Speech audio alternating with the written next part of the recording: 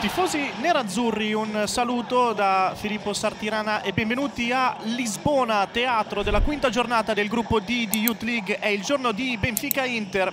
Bovo. Di Maggio controlla, può andare al tiro. Di Maggio, solo forte. Motta. Berenbrook Quieto, si muove Spinacè, Quieto torna ancora da Berenbrook che cerca il fondo, Berenbrook per Sar con il tacco, pallone che passa e lo mette dentro Quieto, 1-0 Inter al minuto 49, gol pesantissimo.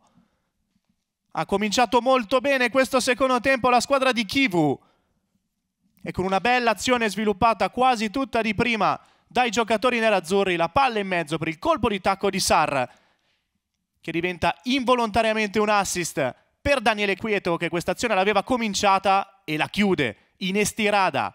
Invece va Diogo Prioste, pallone che passa e pareggio immediato del Benfica con Nuno Felix che trova subito il gol dell'1-1.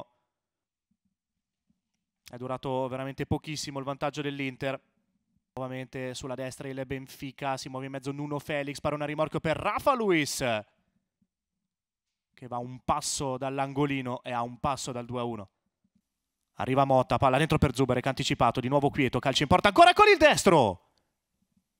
E sfiora l'Eurogol. Rimane a terra Idu, non si ferma l'azione del Benfica che attacca dalla sinistra con Ivan Lima in area di rigore. Ivan Lima, cross in mezzo e si divora. Il gol del 2-1. Rodrigo Rego, quasi da dentro la porta. Rodrigo Rego si accentra, va in porta col sinistro, palo clamoroso. Sfortunatissimo nel centrare il palo. Finisce 1-1 tra Benfica e Inter, discorso qualificazione rimandato all'ultima giornata.